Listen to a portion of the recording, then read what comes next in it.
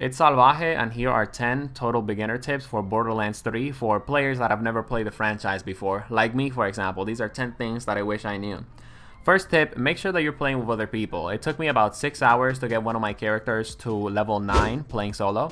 And it took me 4 hours to get uh, my second character from level 1 all the way up to level 9. It definitely helps out playing with a group of 4 people.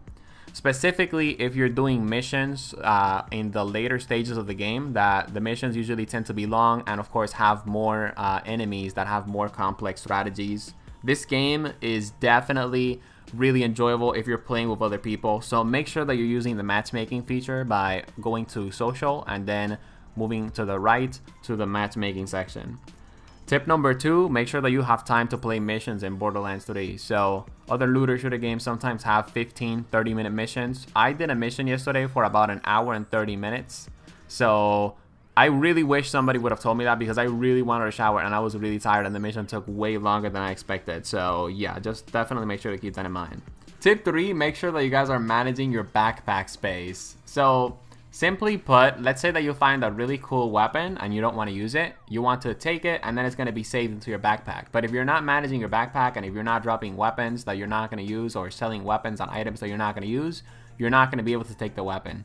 When I first started playing the game, I thought that my backpack was always going to have 16 pieces in it because that was like my inventory and how my character was defined. That was not the case. I just needed to drop weapons from my backpack. Tip number four, make sure that, no wait, this is, oh yeah, this is tip number four, yeah.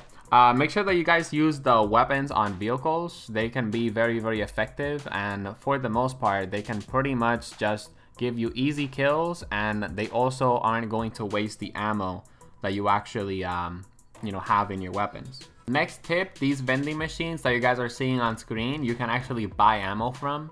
Look, I know it might sound like a stupid tip, but I did not know that. And I wish someone had told me sooner. I learned that like three hours into the game, man. It was really, really frustrating. I was always running out of ammo. That moves me forward to my next tip.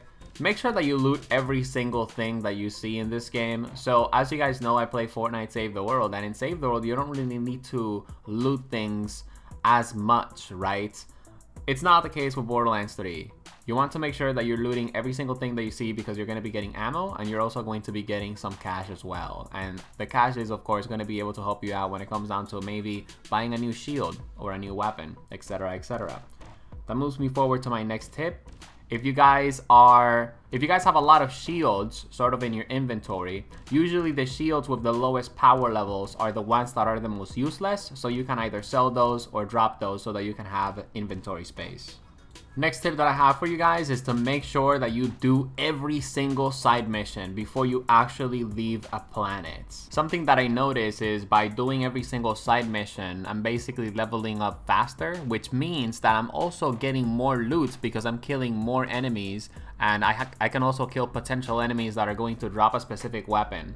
The first time that I was playing my character, uh, I had really, really shitty weapons. But when my second character, since I was doing a lot of side missions, uh, I've been able to get some really cool weapons that have specific gimmicks that make them very, very fun to play. So side missions are absolutely something really, really important that you guys need to do.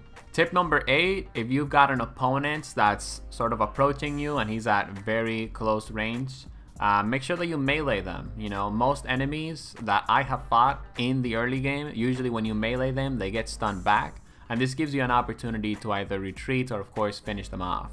Tip 9, make sure that you guys are just using your abilities. It's very simple, right? And it's just something that sometimes people forget. When I first started playing Amara, which was my first character, I sometimes didn't even use her ability at all throughout combat and it made combat like really really boring.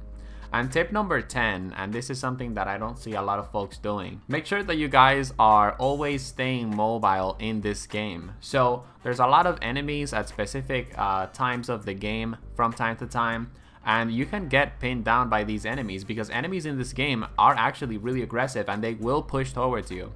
A mistake that I see from time to time is that people sort of remain static or within a specific area. Instead of doing that, make sure that you guys are moving around and always positioning yourself in situations where you're going to be able to add value to the team. So I just want to let you guys know, um, I am going to be making a couple of more Borderlands 3 videos. I'm just going to be enjoying the game though. I'm not going to be trying to rush it to make content. You guys know me, right? It's quality over quantity, and if I want to make Borderlands 3 videos, I want them to be of high quality as well. Since I've never played any other Borderlands games, that gives me a huge advantage because I'm going to be learning a lot of things that uh, you know, new new players to the series probably have in mind. So if you're a new Borderlands 3 player, you might want to hit that subscribe button. I also make Fortnite Save the World videos as well, and you might be into that as well. So that's it. Uh, hope you guys enjoyed the video, and I'll be seeing you all in the next one. Peace out, homies.